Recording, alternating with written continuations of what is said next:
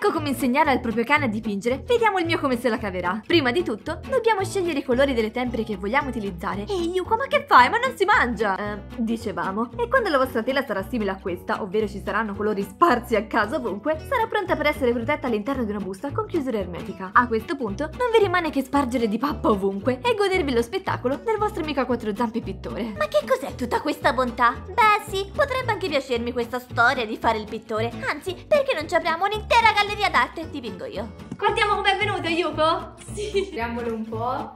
Oh, che bello, Yuko! Bravo, patato! Bravo! Per caso si mangia anche questo? Oh no, bleh, che schifo.